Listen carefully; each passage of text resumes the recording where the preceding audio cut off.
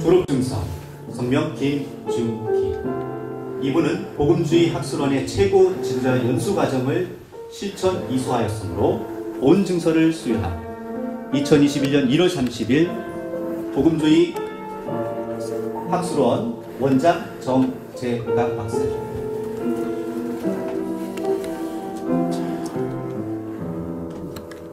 네 축하드립니다.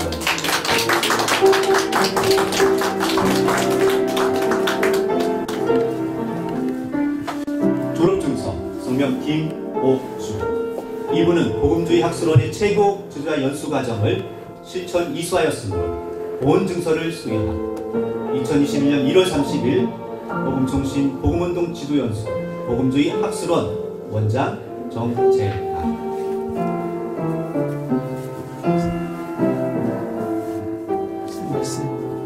네 축하드립니다.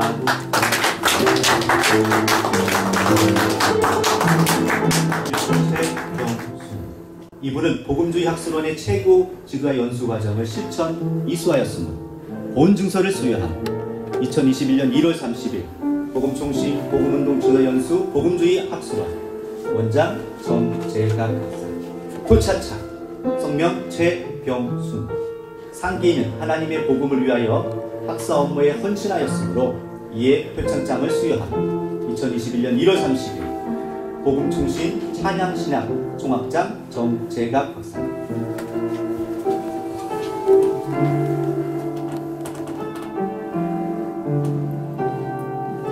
네, 축하드립니다.